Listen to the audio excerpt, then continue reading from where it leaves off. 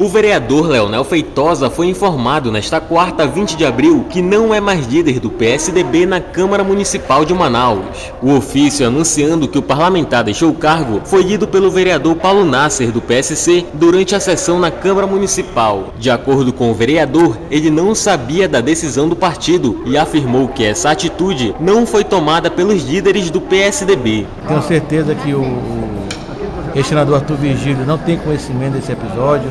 É, o deputado Bineto, que é o presidente do partido, não tem conhecimento desse episódio.